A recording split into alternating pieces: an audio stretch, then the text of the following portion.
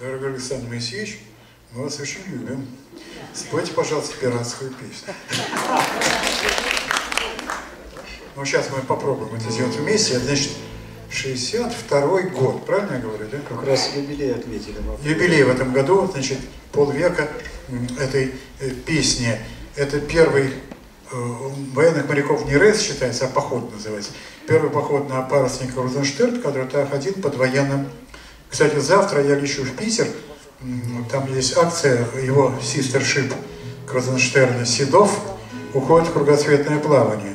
И я там должен принять участие в акции по поводу проводов этого замечательного парусника и так далее. Потому что я как раз в 62-м, 63-м, 65-м годах мы все время работали парой. Два парусника Кротенштерна и Седов, которые ходили из Кронштадта и из Балтийска на 4 месяца в северную часть Атлантики для океанографических работ.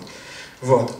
И тогда же, э, вот у меня в книге воспоминаний, по-моему, в первом томе или во втором, по-моему, в первом, э, э, есть такая глава паруса Крузенштерна, где я вспоминаю довольно позорный для себя случай, когда я решил забраться, значит, на Рио сначала, а там моряки-то, там 100 моряков, 18 офицеров. Их тренировали, они там сбегали, не, не держась руками за вантины, на реи, там, на ванты, убирались, там, ставили паруса. И казалось таким легким делом. А я там решил один раз забраться там на второй грот. Кончилось это печально, меня как отца Федора снимали втроем оттуда. Это все в книжке написано, да-да-да. Причем интересно, значит, Старпом, замечательный человек, капитан тетя Ранка, ой, Виктор Тин Шишин, светлой памяти, давно уже ушел из жизни, уже будучи там первого ранга, он рассказывал, говорит, снимали говорит, тебя втроем.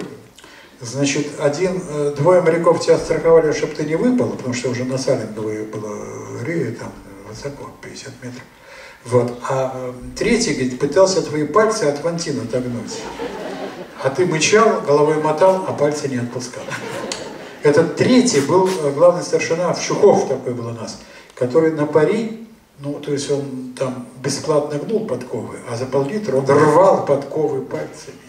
Он, бедняга, не мог мои пальцы отогнуть от вантина. Мне дали подзатыльник, у меня был кровоподтек там два месяца, и меня унесли вниз.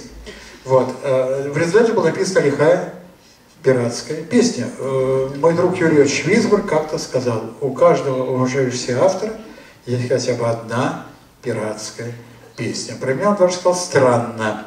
Что касается Городницкого, я что он сам старый пират. Итак, 62 год, борт военного аппарата Крузенштерн, пиратская песня.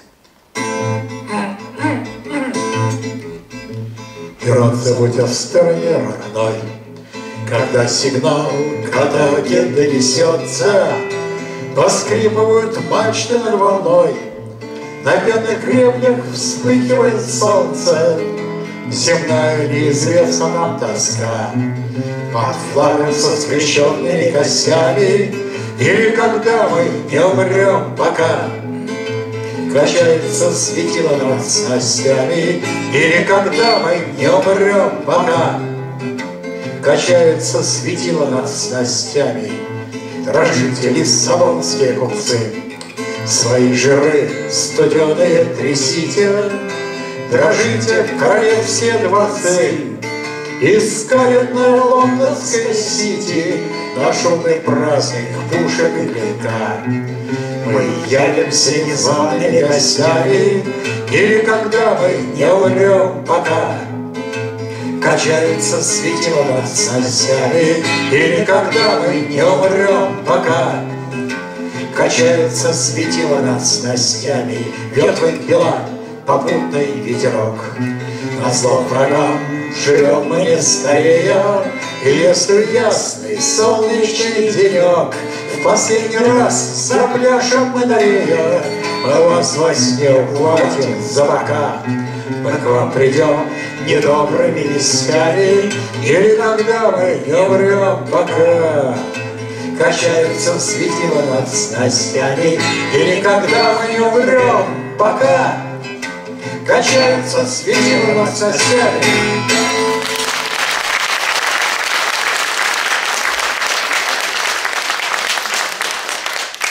Тут уже последние годы, Пару раз мне пришлось перенести операцию на позвоночник. Второй раз это произошло потому, что я в доме ученого упал с неогражденной лестницы. Вот, и как раз оперированной части позвоночника. И тогда я помню, я валялся в клинике здесь, потом в Германии, вторая операция, и написал такую грустную, такие стишки. Убежала талая вода, глаз не остановишь на ровеснице, я и сам в последние года почему-то падаю на лестницу. То ступеньки нету под ногой, то на спину завалюсь увечную, и приемный ждет меня покой, торопя меня к покою вечному. Перевала сумеречный дым, и лавины бешеная конница, вверх по склону шел я молодым, никогда не оступаясь, помнится. Синева пронзительная вот, и нордоста дикая мелодия, по вантинам я взбегал на грот, никогда не оступаясь, вроде бы. Снова вспоминается Тунис, Гваделупа, Касабланка, Падуя. Нелегка, увы, дорога вниз, надо и по ней пройти, не падая.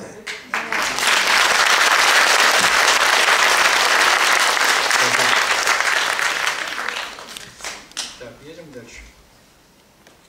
Поздравляю с первой победой мир и мужество. Во-вторых, вопрос, помогает ли вам в творчестве Анна Анатольевна? Еще как помогает. Еще как помогает. Если вы действительно вот приобрели ее сии, вы, наверное, поняли разницу в масштабах поэтического таланта, и кроме того, она мой, так сказать... Что? Раз шесть примерно. Вот, да. Но я не считал, так сказать, ну, может, в семь. Я не знаю. Вот. Как вы посчитали, что в шесть, а не в шесть с половиной? Ну, да. Советуюсь ли вы с ней, когда пишете стихи? Нет, когда пишу стихи, я не советуюсь. Но я всегда вспоминаю, замечательно, был жив еще тогда, мы жили, снимали вот дачу в Подмосковье, в стихотворении об Акучаре писал, вместе с замечательным, я бы сказал, великим совершенно историком и литератором, пушкинистом Натаевичем Дальманом. Он ушел из жизни, не дожил до 60 лет. И я помню, что там вечером сидят в саду, там Дальман сидит, там э, его жена, там Анна Анатольевна сидит, а я выхожу и говорю, ребята, я стихи написал. Она, она говорит, ну читай, говорит она, с таким суровым выражением лица. Я читаю, и по мере того, это, Риман описывал, по мере того, я читаю, и глядя на ее реакцию, я начинаю съеживаться, съеживаться, съеживаться, и в конце я упавшим голосом говорю, ребята, ну как стихи? А она говорит, где стихи? Я съеживаюсь и ухожу. Все, вот эта реакция нормальная. Спойте, пожалуйста. Так, споем. Почему ваш концерт так быстро заканчивается? Правда? Серьезно? Ну давайте сегодня не будем так быстро. Что-то трещит. Переделкина.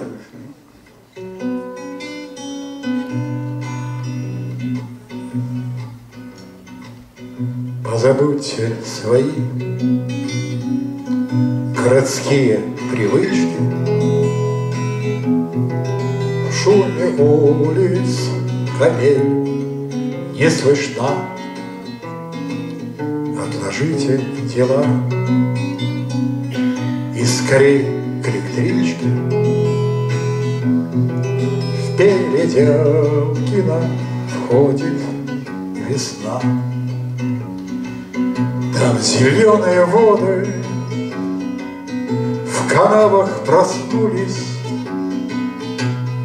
Снег последний к оврагам приник фанерных дощечках. Название улиц. Как заглавия давние книг. Здесь тропинкой придя Задеваешь щекой Паутины беззвучную нить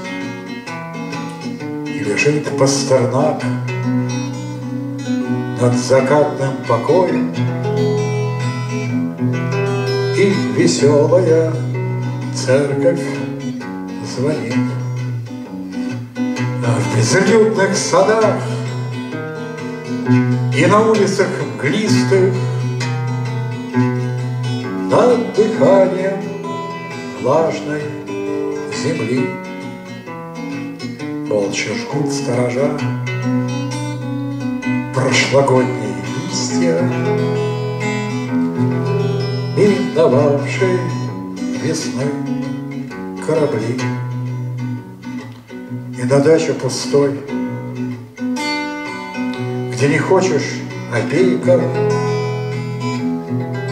Непонятные горькие сны. Заскрипит в темноте. Под ногами ступенька, И Светлов подмигнет со стены. И поверить нельзя невозможности Бога. В ранний час, когда верба красна, заячьих лапках, как в сердце тревога, в передел кино входит весна. И поверить нельзя невозможности Бога. В ранний час, когда верба красна заячьих лапках, как в сердце тревога, в передел кино входит весна.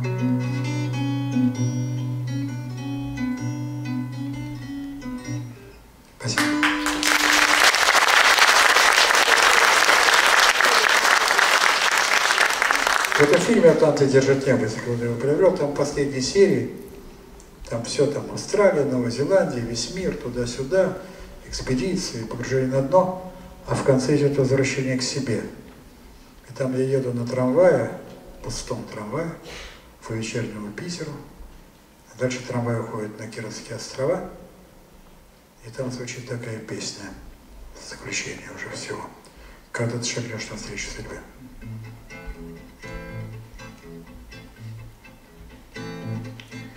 Когда шагнешь навстречу судьбе, Родной, перейдя порог, И мама шепнет вдогонку тебе, Постой, не спеши, сынок. Откроется вид, где чайка парит, И море вдали поет. А солнечный луч тебя ослепит, И ветер заполнит рот. Откроется вид, где чайка парит, И море вдали поет. Солнечный луч тебя ослепит, И ветер наполнит рот. Когда обоймут чужие края Тебя пеленой цветной, И скажет тебе подруга твоя, Мой милый, побудь со мной. Блеснет тебе вид, где чайка парит, И солнечный бьется дым. Обнимешь ее, покинешь жилье, И следом уйдешь за ним. Блеснет тебе вид, где чайка парит, И солнечный льется дым. Обнимешь ее, покинешь жилье, И следом уйдешь за ним. Когда это все припомнишь ты вдруг, Беспомощен стар и сед, И спросит тебя испуганно внук, О чем ты заплакал, дед? Не стоит тужить, что хочется жить, Чтоб кончился твой черед. На солнечный вид, где чайка парит, И море вдали поет. Не стоит тужить, что хочется жить, Чтоб кончился твой черед. На солнечный вид, где чайка парит, И море вдали поет.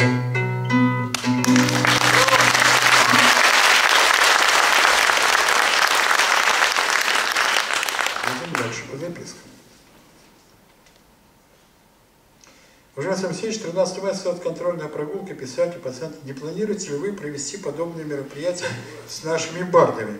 Ну, в общем, как-то пока, пока не планирую. Идея вот. хороша. Идея хороша, хотя надо подумать, может быть. Вот. Во всяком случае, вот сама, сам почин этих прогулок мне нравится. Он, я думаю, барды, художники, понимаете, я знаю, других творческих и не творческих профессий. Потому что, в общем, какой такой пример, по-моему, очень хороший Дима Быков, да, вместе с э, Людмилой Урис, которую очень люблю и уважаю, и многими другими вполне достойными, вообще-то говоря, людьми. Вот. Стихотворение точно не помню слова. А, родство по слову. Это стихотворение вызвало огромную реакцию. Значит, э, соответственно, наших нацистов в газете «Русский порядок» по была опубликована э, уничтожающая статья против меня, что значит, так, только значит, не русского человека могут быть такие проблемы, а мы вот русские по крови, у нас проблем нет. И в то же время в городе Сан-Франциско, если не ошибаюсь, или в Лос-Анджелесе, пришла группа евреев э, на мой концерт бить меня морду за эти стихи. Э, э, в газете было, что я враг еврейского народа агент КГБ, кстати. Что очень забавно. Вот, да. Мне интересно, вот многие знают эти стихи. Дело в том, что в Израиле вышла книжка моих стихов на русском языке. Именно в Израиле я направлял книгу под этим названием. А называется «Родство послов». Мне интересна ваша реакция. Ну, такие стихи неоднозначные. Я, например, выступал в МИОЦе, Международный еврейский центр, где я демонстрировал там куски из этого фильма своего «Атланта держит небо», и встала пожилая дама и сказала, ну вы наконец отреклись своих ужасных стихов, про родство по слову, они заступнические, недостойные вас стихи. Интересно, достойные или нет? Вот послушайте. Это одно из принципиальных моих стихотворений. Дело не в качестве стихов, а в позиции. Неторопливо истина простая в реке времен нащупывает брод. Родство по крови образует стаю, родство по слову. Не от того ли смертных поражая, непостижимой мудростью своей, Бог Моисею передал скрижали, людей отъединяя от зверей. А стая не нужны законы Бога. Она живет завету вопреки, там ценится в сознании у Бога лишь цепкий нюх, да острые клыки. Своим происхождением не скрою, горжусь и я, родителей любя. Но если слово разойдется с кровью, я слово выбираю для себя, и не отыщешь выхода иного. Какие возражения не готовь. Родство по слову порождает слово, родство по крови порождает кровь. Спасибо.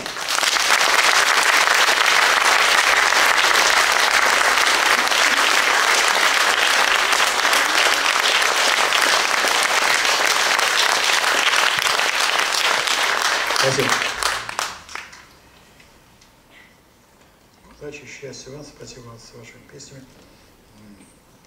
Соседствую всю жизнь от юности до пенсии. Ну, сегодня, если можно. А, мою маму зовут Рахиль, вот как раз, да, хорошо. И еще вторая песня контровая по отношению к ней. Интересно, что вот говорят в России антисемитизм, фигня, извините. Вот я сейчас пою две песни абсолютно противоположных по своему э, направленности, да, потому что, с одной стороны, по крови я, естественно, еврей, а уж по языку, вы сами знаете.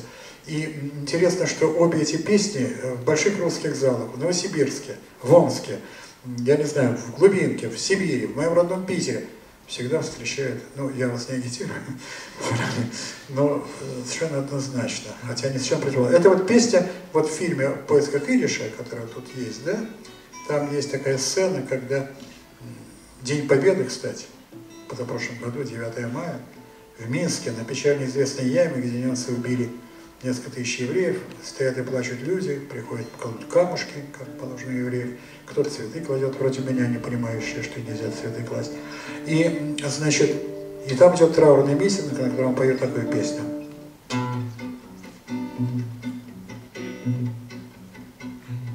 Подпирая щеку рукой, о житейских устах невзгод, Я на снимок смотрю с тоской, А на снимке двадцатый год.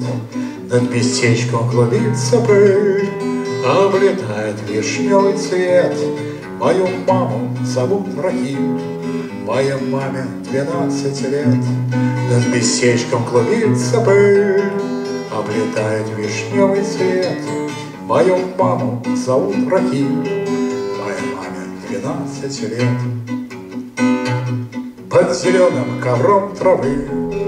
Моя мама теперь лежит, Ей защиты не стал, увы, Ненадежный Давидов щит, И кого из моих родных Ненароком не назову, Кто стареет в краях иных, кто убитый лежит во рву. Никого из моих родных не на назову, Кто стареет в краях иных, кто убитый лежит во рву.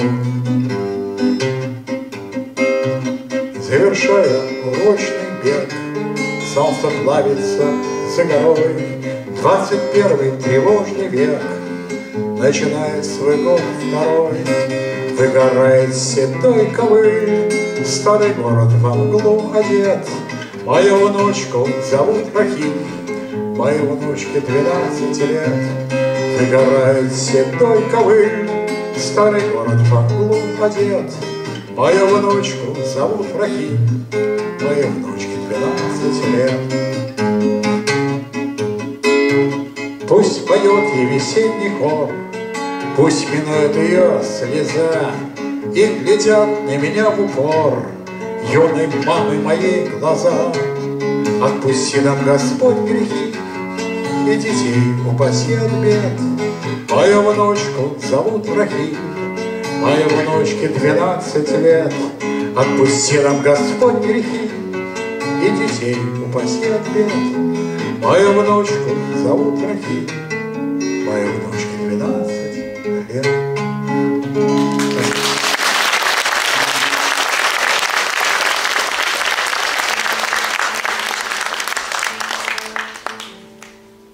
Песня, которая сейчас стала культовой в Крыму, вот сейчас я только что был в Крыму, и там, да, ну, я тоже старый человек, я когда-то преподавал обучал военных гидрографов в Крыму на Черноморском флоте. Вся машина связана с флотом. Я же тоже продукт ВПК, в общем-то, да? И как-то вот, вот такая песня. Самых, они очень много разных отзывов, и много всякой ругани в мой адрес. Когда у меня был юбилей в театре эстрады, какая-то женщина прислала на электронную почту, что я уничтожила ваши книги, ваши диски, я не ожидал от вас такого великорусского имперского значит, э, шовинизма. И меня даже поразила не сама песня, а звериная реакция, как по команде вставшего зала. А еще какой-то нацист там написал замечательно, вот дожили, уже жиды ультрапатриоты. Нормально. А песня такая,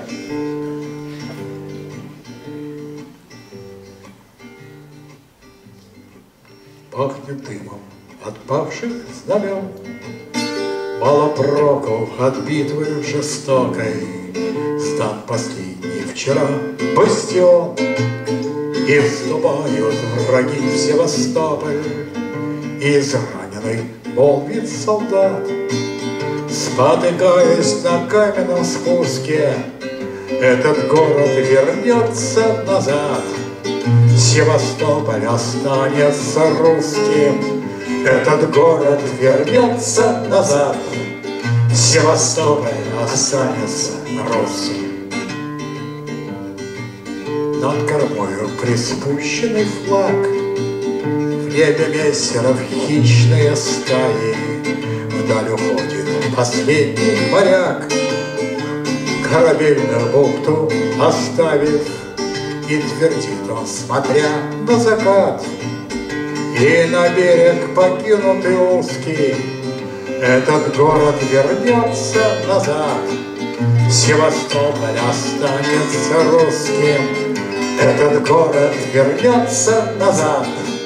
Севастополь останется русским. Сулит наступающий год? Снова небо туманное мглисто, Я ступаю в последний вельбот, Покидающий графскую пристань, И шепчу я, прищурив глаза, Не скрывая непрошенной грусти, Этот город вернется назад. Севастополь останется русским, Этот город вернется назад. Севастополь останется русским.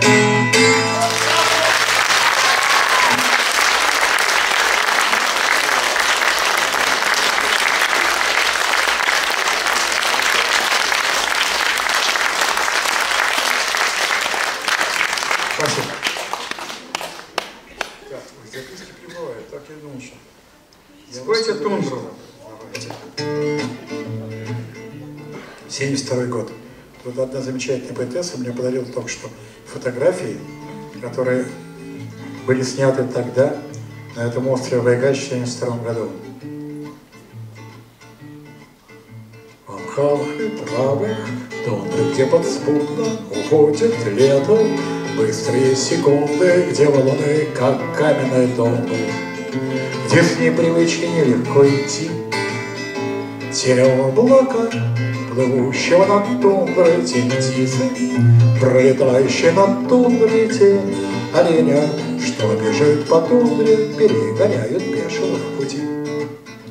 Если как-то, раз проснувшись утром, забыв на час о зеркале и пудре, Ты попросила рассказать о тундре, И лист бумаги белых я нашел, Теря облака, плывущего над тундрой тень птицы, Пролетающей над тундрой тень оленя, Что бежит по тундре и запросил бы я карандашом.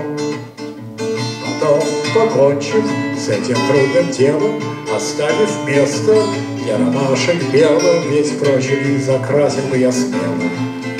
Зеленой краской радостных для глаз, А после выбрав кисточку потоньше И осторожно, краску взяв на кончик, Я синим бы раскрасил колокольчик И этим бы закончил свой рассказ. Я повторять готов живущий трудно, Что мир устроен праздничный мудро, Да мир устроен праздничный мудро. Пока мы каждый день Теле облака плывущего над тундрой тень птицы, пролетающей над тундрой тень оленя, что бежит по тундре, рядом с ними собственную тень. Тень облака, плывущего над тундрой тень птицы, пролетающей над тундрой тень оленя, что бежит по тундре, рядом с ними собственную тень.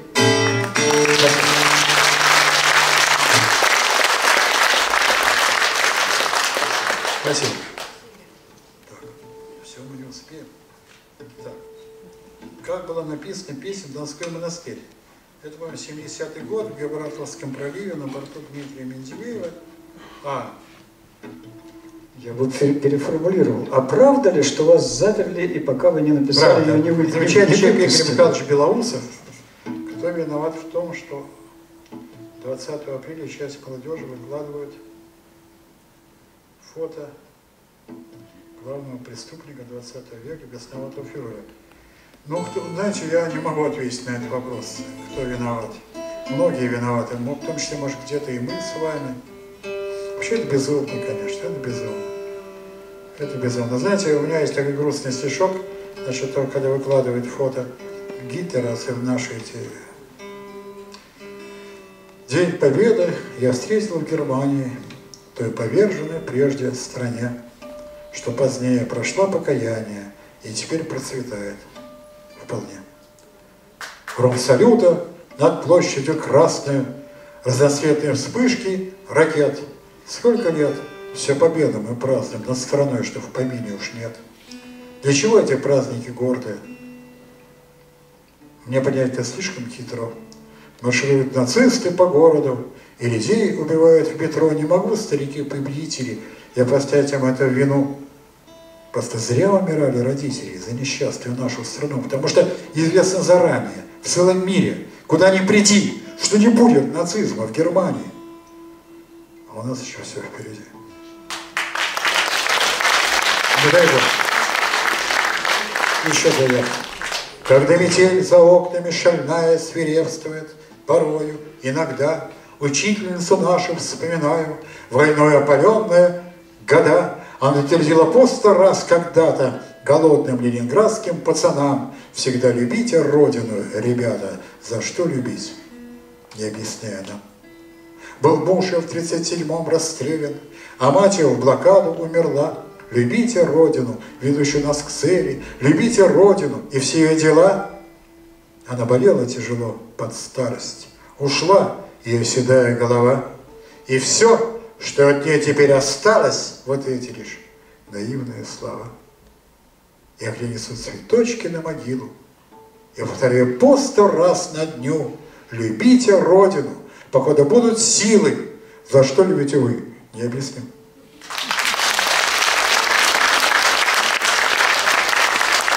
Шестьдесят год.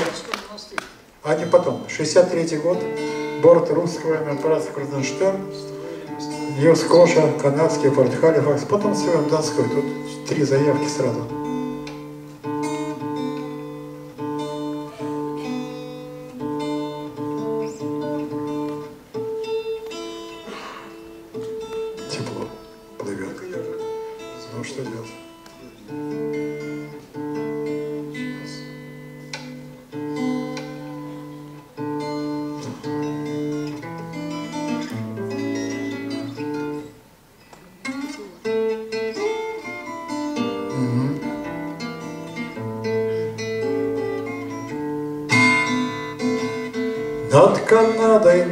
Канадой Солнце низкое садится. Мне уснуть давно бы надо. Отчего же не спится? Над Канадой небо синее. Меж берез дожди косые. Хоть похоже на Россию. Только все же не Россия Над Канадой небо синее Меж берез дожди косые Хоть похоже на Россию Только все же не Россия. Нам осталось шепчет крейсер И любовь завалит шашни. Дразнит нас снежок апрельский, Манит нас уют домашний. Мне снежок, как не весенний, Дом чужой не новоселье, Хоть похоже на веселье, Только все же не веселье. Мне снежок, как не весенний, Дом чужой не новоселье, Хоть похоже на веселье, Только все же не веселье. У тебя сегодня святость, Ложек солнечные пята. Не спеши, любовь, оплакать, Подожди меня обратно. Над Канадой небо синее, Меж берез дожди косые, Хоть похоже на Россию, Только все же не Россия. Над Канадой небо синее, Меж берез дожди косые, Хоть похоже на Россию, Только все не Россия.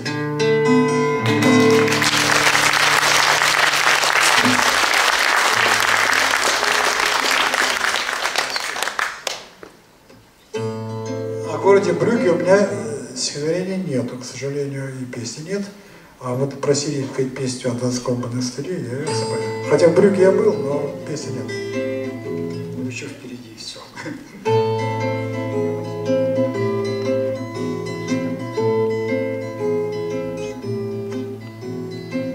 А в Донском монастыре зимнее убранство Спит в Донском монастыре русское дворянство. Взяв метели под усы, за стеной, как близнецы, встали новостройки. Снятся графом их дворцы, а графиням бубенцы забубенной тройки. А в Донском монастыре Время птичьих странствий Спит в Донском монастыре Русское дворянство Требуют шуму вопреки И близкие далеки От грачиных криков. Камердеры старики Кавалеры моряки И поэт языков А кусок живет палац И от гусарской чести. Дамы пиковые спят с германами вместе. Над бессонной Москвой, под зеленой травой Спит и нас не судит.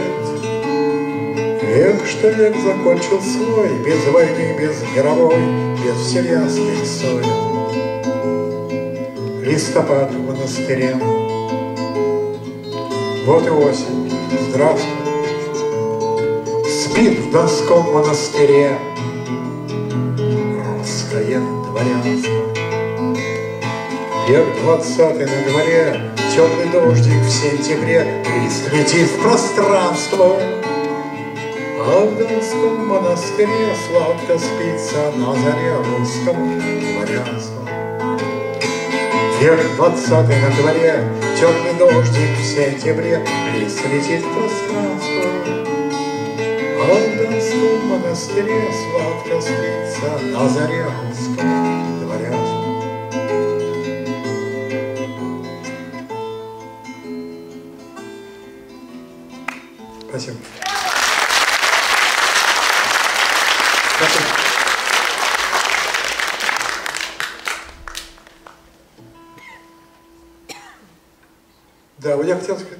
песенку спеть, а то вот, это вот перемена погоды на юге, поэма, это э, новая песня.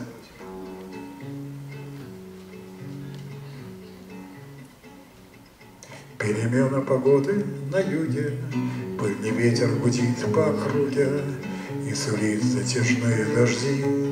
В облака меховые одета, Улетает недолгое лето, Ты тепла понапрасну не жди, Ты тепла понапрасну не жди.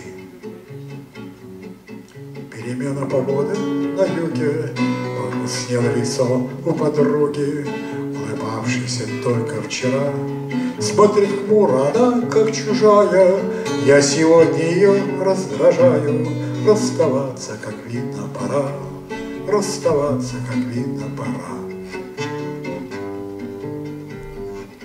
Перемена погоды на юге, Бесполезны смешные подуги, Удержать уходящие дни. Все уехали, это резонно, Завершается время сезона, Ты его понапрасну не жди. Мы с тобой остаемся одни, Мы с тобой остаемся одни. Перемена погоды на юге, На прощание обнимемся, други, Остывают земля и вода. Вот и все, что от жизни осталось, Нам с тобой сегодня под старость. Холода, холода, холода, холода, холода, холода.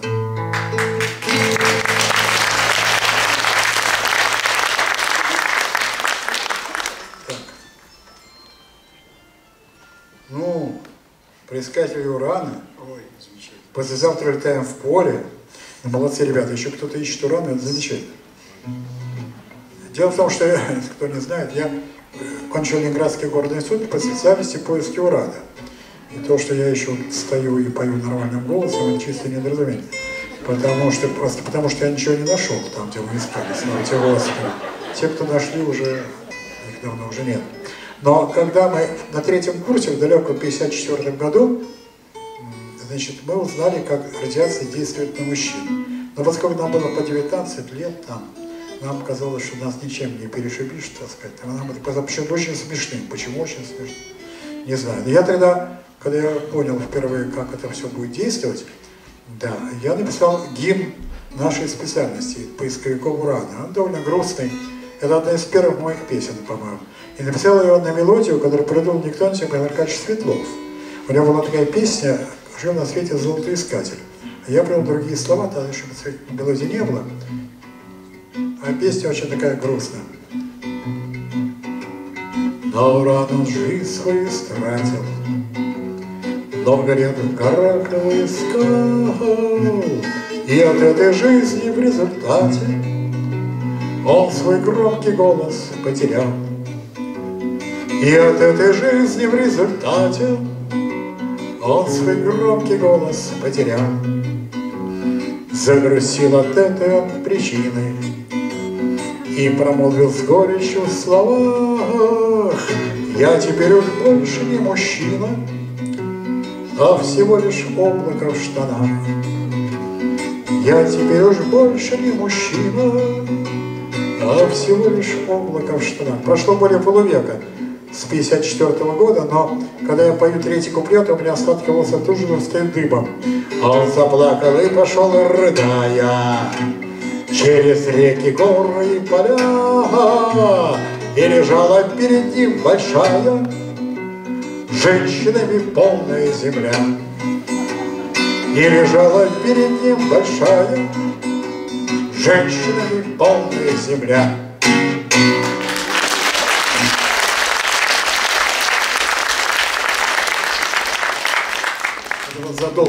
Баберман написал на меня свою знаменитую эпиграмму «К любовной жизни охладев, я погасил свою жаровню, еще смотрю на нежных дев, а для чего уже не помню».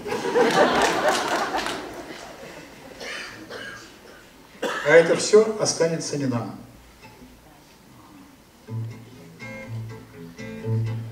С тобой всегда мечтали поселиться мы во всех домах, что были на пути. За рубежом, в провинции, в столице ли, Всегда мечтали дом свой завести. Но за ночлег, не выписав квитанции, Несет нас утро к новым временам. Поют гудки на близлежащей станции, А это все останется не нам. Поют гудки на близлежащей станции, а это все останется не нам. Свои жилища, обживая утлые, в чужих домах над пропастью воржи, мы обрастали кучей всякой утвари, тарелки, вилки, ножки и ножи. Но нет того, как видно люди сортомы, чтобы поверить комнатным стенам, Поет поземка над аэропортами, А это все останется не нам. Поет поземка над аэропортами, А это все останется не нам. Остановитесь, часики, пожалуйста, Не разрушайте будущий наш дом. Готовы жить, в отличие от Фауста, В любом краю и времени любом. На нас судьба глядит в пристально, Осенний шторм кружится по волнам.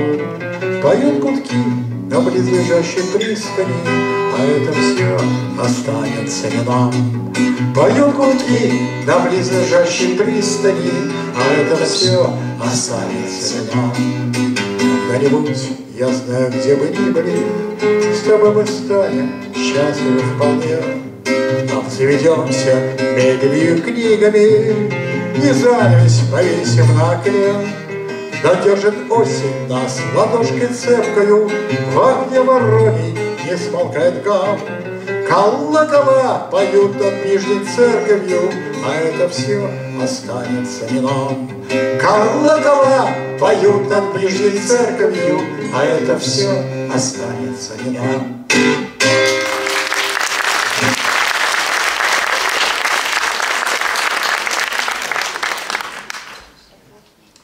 Большое спасибо за последние телепроекты, подготовленные вами на канале Культура. А их еще не было. А там еще 8 фильмов мы сейчас сделали, еще не шли. Они пойдут где-то к осени. Понравилась передача, посвященная видам энергии. С каких звезд сегодня видов энергии ближайшее будущее? Да кто его знает, а вот этот холодный термояд так и не освоили. Если можно, спойте одну из песен этого замечательного телевизионного цикла. Знаете, я их не помню, Люда, потому что я их писал для... Вот будет фильм, в них будут песни звучать. Они у меня такие имеют чисто служебное, мне казалось, значение. Ого! Я извиняюсь. Дорогой Александр, мы вспомнили очень многих бардов, но ничего не сказали. Вот знаете, у меня есть стихи, причем Михаила Анчарова. Микланчаров, Виктор, э, Микланчаров как я считал, мне сложно забыть. Сейчас я посмотрю, у меня есть хил посвящен, только не помню в какой книжке. То ли в этой, то ли все-таки скорее в каком-то из последних, которые избранных, может и нет. Сейчас я посмотрю. Я к нему отношусь очень положительно. Я считаю, что он один из основоположников, он тем более, что начал писать задолго даже до Визбора, Вот, у него есть замечательные песни, типа «Мазы», например, гениальные песни и так далее. Хотите спеть? Нет, Нет, не Так, значит, такое ведет. Да. По-моему, сейчас я посмотрю. Есть у меня тут в этом в этой книжке, по-моему, все-таки нету, а жалко. Очень я к нему отношусь очень положительно, он еще и блестящий прозаик, потому что и, да, и самшитовая ветвь, и самшитовый лес, записки. Самшитовый лес, фото солнца, теория невероятности. Это совершенно фантастика. Песню «Перекат» для мальчика из первого ряда мы спол, исполним с его участием, но это уже в качестве последней. Обычно мы ее по традиции поем все вместе, когда уже собираемся расходиться. Да, так что... Я, я Атланты тоже. Не волнуйтесь. Вы так давно поете, сочиняете, но играете на гитаре. Почему? Я говорю, что лентяй. Во-вторых, потому что начала писать песни на крайнем севере, гитар не было просто как класса. В-третьих, потому что избалован такими вот аккомпаниаторами, хуже не хочется, лучше не получится. Спасибо. Какой была ваша первая песня? Ну, первая, как одна из первых была, это марш вот этих самых несчастных поисковиков Урана. Э, истории всех моих песен начальных э, можно прочитать. Вот в первом томе, называется «Атланты держат небо», там есть история моих первых песен. И вообще, почему я начал писать песни? Да, это очень такая детективная история. Очень. Вот уже более 12 лет, каждый год я привожу к вам на встречу мою семью. Спасибо, моих друзей. И отец 90 лет, и дочка 25 лет. Потрясающе. Это и есть эстафета любви к вам и вашим песням. Спасибо.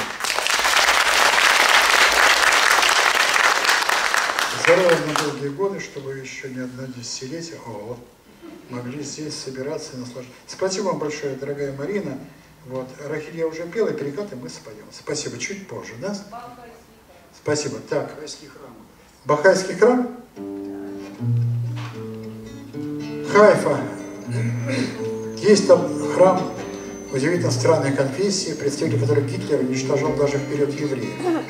Это конфессия называется Бахаи. Это новая относительно конфессия, возник, не ошибаюсь, в конце 19 начале 20 века. Сторонники этой конфессии стараются перемирить все религии. У них там все пророки.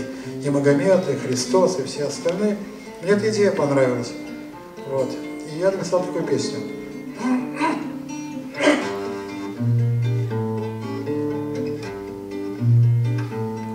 На вершине Кармель, где стоит монастырь кармелитов, у подножия ее, где могила пророка Илии, где, склоняясь католики к небу, возносят молитвы, и евреи, качаясь, возносят молитвы свои. По залочным куполам в синих лучах полыхает, приехавших морем и сушей всегда на виду. Возвышается храм новоявленной верой Бахай Возле сада цветущего трижды в году. Возвышается храм новоявленной веры Бахай Возле сада цветущего трижды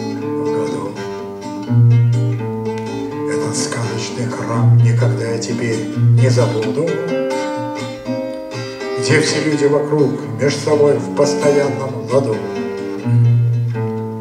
Одинаково чтут там Христа, Магомета и Будду. И не молятся там, а сажают деревья в саду. Здесь вошедших любя обнимают прохладные тени.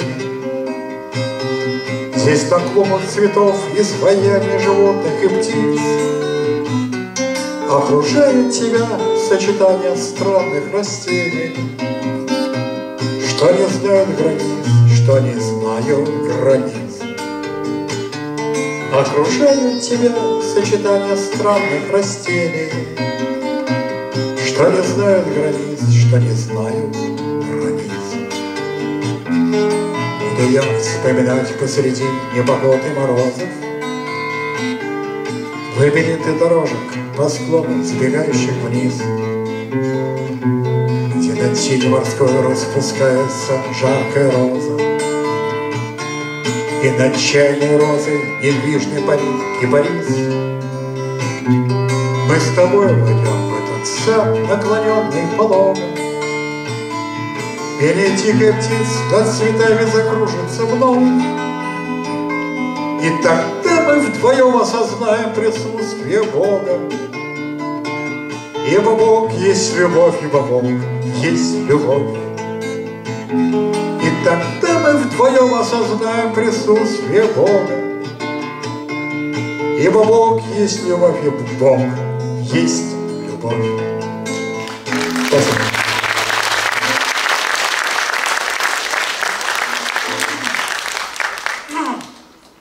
Целый список на целый концерт хватит. Но давайте споем одну из этих песен. Моряк покрепче, вяжи 63 год, Гибралтар.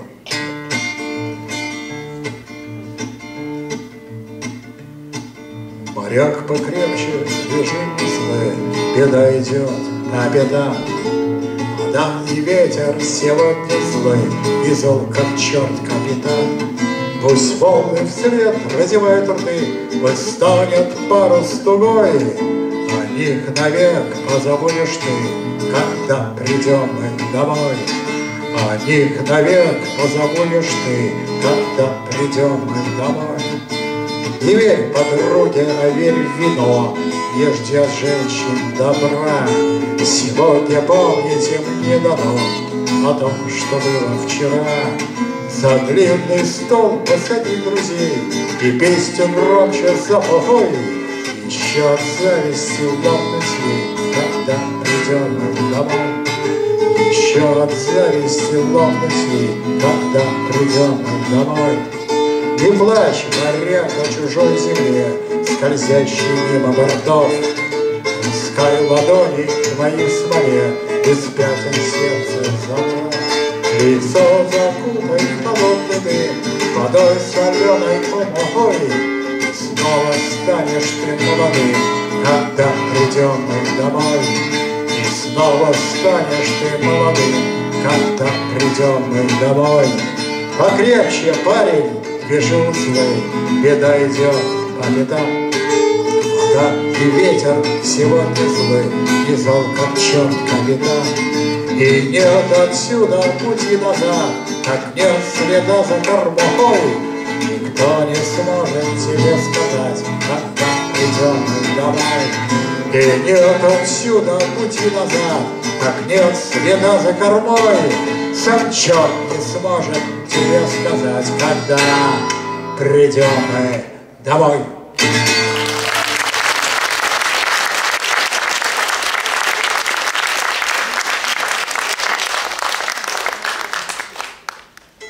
Пойдете ли вы петь на баррикаду, не знаю, пока я завтра собираюсь отсюда отъезжать на какое-то время. Вот, спасибо. Из новых песен, из новых песен, вот, по-моему, ни разу мы не пели этот самый.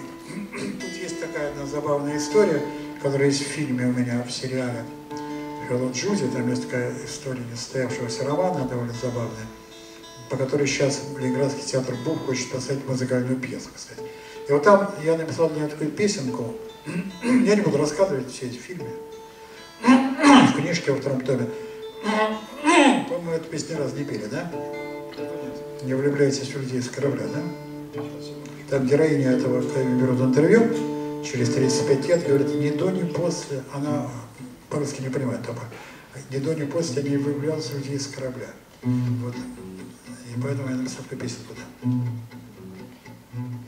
Ах, красотки из южных портов, Что вчера наше судно встречали, Привлеченные скрипом швартов. Не ходите гулять на причале, Ошибаться сердцам не веля, Не спешите влюбляться без толка, Не влюбляйтесь в людей с корабля. Корабли простоят здесь недолго, Не влюбляйтесь в людей с корабля. Корабли простоять здесь недолго. Сейчас.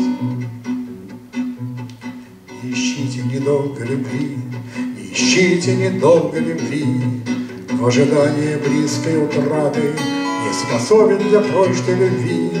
Те, кто ходит на землю по трапу, Не для них шелестят на их дорога трудна и превратна, Не влюбляйтесь в людей с корабля. корабли не приходят обратно. Не влюбляйтесь в людей с корабля, корабли не приходят обратно.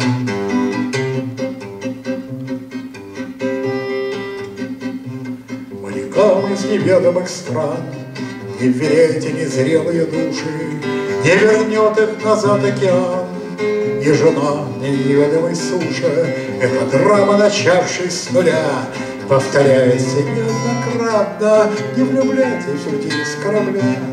Корабли не вернутся обратно, Не влюбляйтесь людей с корабля. Корабли не вернутся обратно. Чтоб не плакать потом по ночам И себя не готовить во вдовы, Не ходите гулять на причал, Где суда напрягают швартовы, И покуда кружится земля, и на солнце меняются пятна, Не влюбляйтесь в людей с корабля. Корабли не вернутся обратно, Не влюбляйтесь в людей с корабля. Корабли не вернутся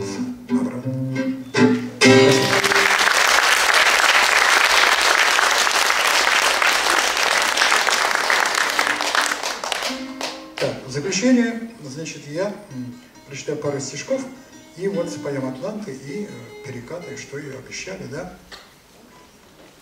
Снова январь, по-московски сырой и гриппозный, Мокрые вьюги и дождь ледяной на дворе. Чувство стыда было сравнительно поздно В Греции древней, на хмурой Троянской заре. Неотомщенная обида оно не простит нам, и милосердие тоже оно не простит. Стать победителем кровь проливая не стыдно. Стать побежденным, вот это действительно стыд. Попеременно то слабость являет, то силу, по лабиринту уводит непрочная нить, В смертном бою наплевать на Ахейца, Ахиллу, Но за Патрокла не может он не отомстить. Вечно воюет с людской натурой дикой, Тянется к солнцу зеленая эта лоза, В царстве теней Нелегко будет верно Эдипу, как на родителей сможет поднять он глаза. Сложнее со временем эта картина. Вот и мои на исходе, как будто года. Так почему же оно на меня накатило? Невыносимое, жгучее чувство стыда. Стыд за моих опозоренных предков. Стыд, что по жизни не лучше ушел из дорог. Стыд потому, что обманывал близких нередко, а не обманывать тоже как будто не мог. Стыд за народ мой, привыкший к порядкам осторожным. Стыд за желание нового верить царю. Стыд за молчание из-за того, кто, возможно, не понимает, о чем я сейчас говорю.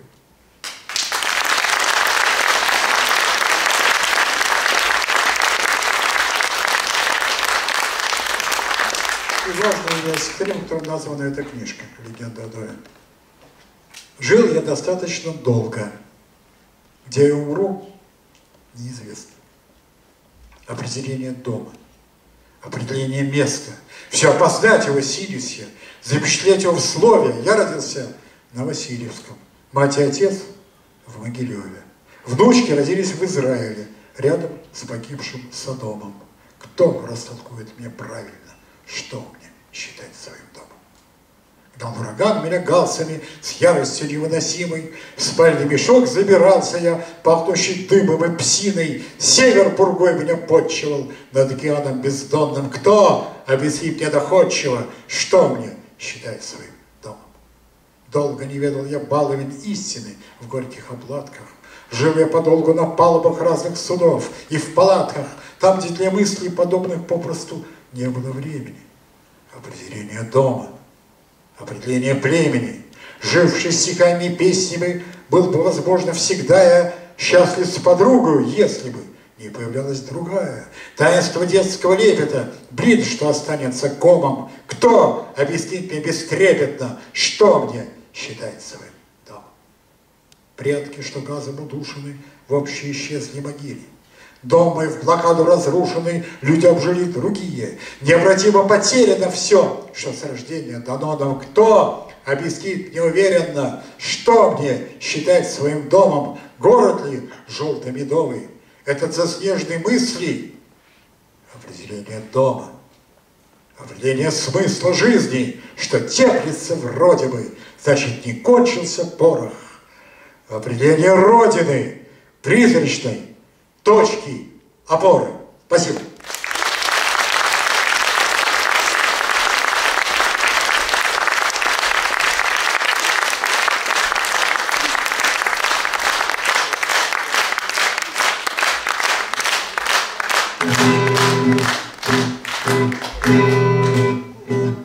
Когда на сердце тяжесть и холодно в груди, В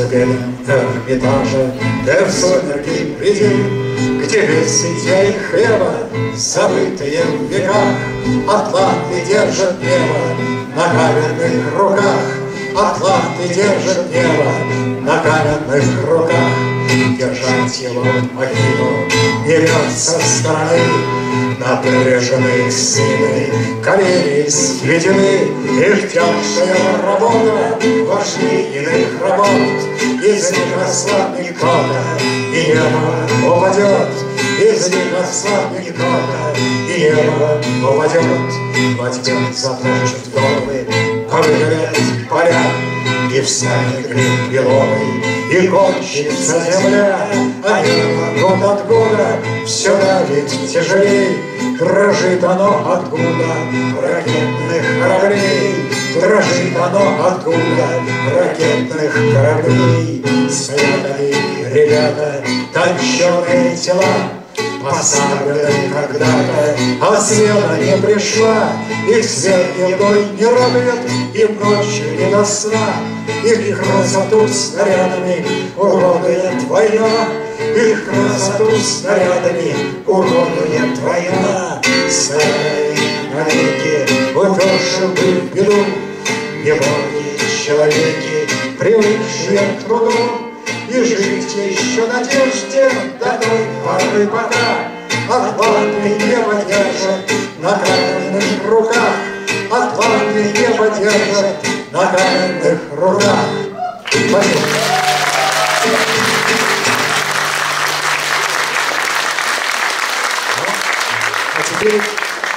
Обещали мальчика из ряда. Будешь петь, да?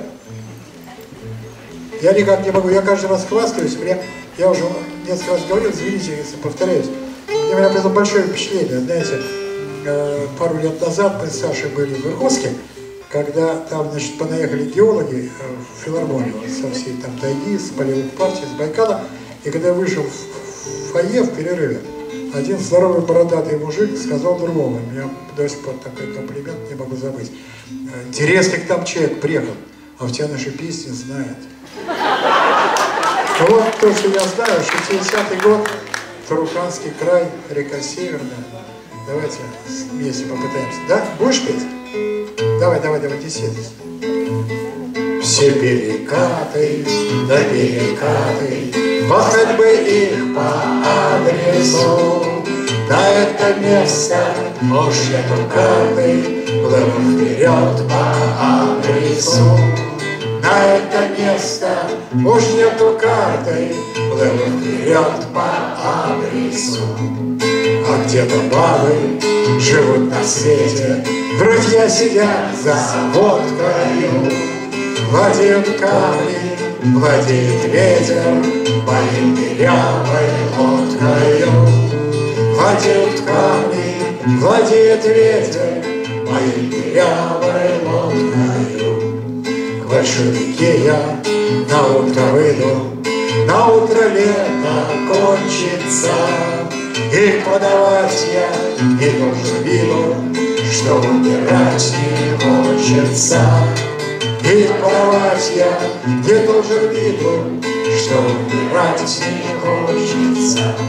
И если есть там с тобой кто-то, Не стоит долго мучиться. Кровь, люблю тебя я до поворота, А дальше как получится. Люблю тебя я до поворота, А дальше как получится. Все перекаты, да перекаты, бы их по адресу. На это место нету карты, Был вперед по адресу. На это место Ложь нету карты, Был вперед по адресу. Спасибо,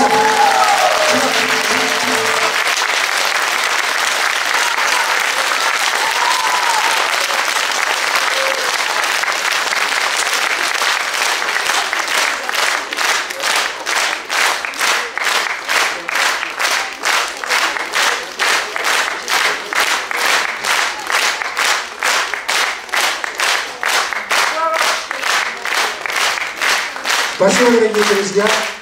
Хорошего лета.